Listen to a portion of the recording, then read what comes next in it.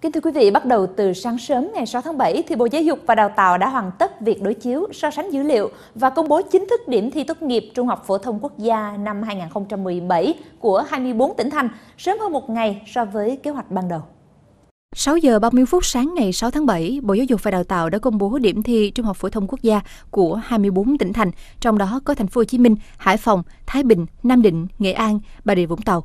Đến 9 giờ 20 cùng ngày, Bộ đã công bố điểm thi của thêm 13 tỉnh thành. So với kế hoạch, việc công bố điểm thi Trung học phổ thông quốc gia năm nay được đẩy sớm hơn một ngày. Trước đó, Bộ dự kiến sẽ công bố điểm thi vào ngày 7 tháng 7. Số tỉnh thành còn lại, Bộ đối chiếu dữ liệu điểm và công bố ngay trong ngày 6 tháng 7. Dự kiến chậm nhất là ngày 14 tháng 7, Bộ Giáo dục và Đào tạo sẽ công bố điểm sàn đại học.